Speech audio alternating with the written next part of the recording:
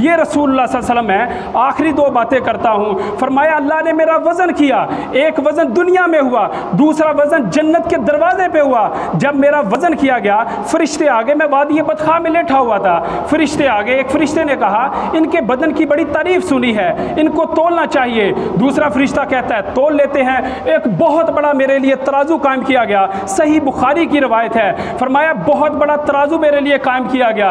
एक पलड़े में मुझे लटाया गया। दूसरे पलड़े में एक शख्स को लटाया गया। फरमाया, मेरा पलड़ा इस कदर भारी था। दूसरा शख्स ऐन मेरे सर के ऊपर था। फरिश्ते ने कहा, इनको इस तरह मत तोलो। इनको दस के साथ तोलो। कहा, दस के साथ तोला गया। फरिश्ते ने कहा, इनको इस तरह मत तोलो। इनको एक लाख के साथ तोलो। फरमाया, एक लाख के साथ तोला गया। फरिश्ते ने कहा, इनको इस तरह मत तोलो। इनको एक करोड़ के साथ तोलो। फरमाया, एक करोड़ के साथ तोला गया। फरिश्ते ने कहा, इनको इस तरह मत तोलो, क्योंकि मोहम्मद अरबी का बदन इतना कीमती है कि पलड़ा नीचे है। एक करोड़ इंसानों का पलड़ा ऊपर है। फरमाया, फिर क्या हुआ? उसने कहा, सारी जमी इंसानी को एक पलड़े में लिटाया जाए। मोहम्मद अरबी को दूसरे पलड़े में लिटाया जाए। फरमाया, सारी जमी इंसानी एक पलड़े में रखी गई। मोहम्मद करीम दूसरे पलड़े हैं पलड़ा फिर भी बारी है। फरमाया, जो मेरा कलमा पढ़ लेता है, कलमा अल्लाह मोहम्मद रसूलुल्लाह, इतनी फजीलत है, ये कलमे की इतनी बरकत है। फरमाया, इस कलमे का वज़न हुआ, जिसमें मेरा नाम है, ला मोहम्मद रसूलुल्लाह। फरमाया, सात ज़मीनें, सात आसमान रब जलाल ने एक पलड़े में रखे, दूसरे पलड़े में कलमे को रखा।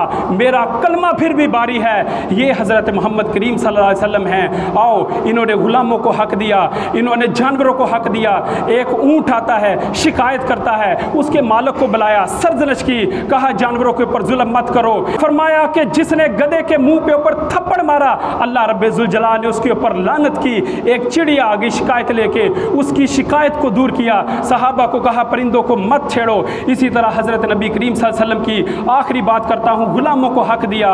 हज़रत बिलाल रज़ी अल्लाह जब आप सारे मक्का को फतह करते जा रहे हैं, जिस दिन ऐलान किया, ला तसरीब अलैकुमुल कहा, बिलाल किधर है? बिलाल को पेश किया गया। है तो गुलाम है। बिलाल का रंग भी काला है। काबे का रंग भी काला है। हजर असवद का रंग भी काला है। कहा, बिलाल, ज़रा बैतुल्ला की छत पे चढ़ जा और अजान पढ़ दे। मेरे कलमे को बुलंद कर दे। बिलाल छत पे चढ़ गए। अजान देने के लिए इसी असलाम में नीचे चौधरी बैठा था और सारे जजीरतुल अरब के चौधरी, सारे वडेरे, सारे सरदार नीचे हैं। बिलाल ऊपर हैं। चौधरी कहता है मोहम्मद ने क्या किया? इससे बेहतर था मैं मर जाता एक गुलाम ऊपर चढ़ा दिया एक अजमी ऊपर चढ़ा दिया, जो ना कुरैशी है, ना हाशमी है, वो है भी गुलाम, जिसके हसबो नसब का नहीं पता, और ये मेरे मुस्तफ़ा हैं, और सारी इंसानियत आज अपने अपने हसबो नसब पे बड़ा फख्र करती है। मैं चौधरी, मैं राना मैं राजपूत, मैं भट्ट साहब, मैं जट साहब, मैं गुजर साहब, और गुजर साहब, जट साहब, चौधरी साहब, ये देख मेरे मोहम्मद का,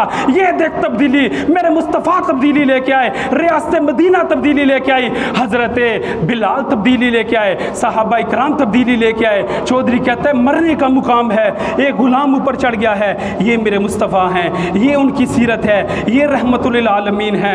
आओ, उस रसूलुल्लाह सल्लल्लाहु के लिए अपना एक कहद रखें। कुल इनकाना भाकुम व बनाकुम व जवाजुकुम व अशीरतुकुम, व मुआलुनिक तरफ़ तुमुहा व तिजारत तक्षौना कसादहा। और हम कुर्बान, हमारे अहलो कुर्बान हमारे माँ बाप कुर्बान, बहन भाई कुर्बान, हमारे सारे ये यूनिवर्सिटियाँ, कॉलेज, हमारा पूरा पाकिस्तान कुर्बान, यमन कुर्बान, सऊदी अरब कुर्बान, फिर मिस्र कुर्बान, ईरान कुर्बान अफ़गानिस्तान कुर्बान, जितने बासठ इस्लामी मुल्क हैं, हजूर की शान पे सब कुर्बान। वालेकुम।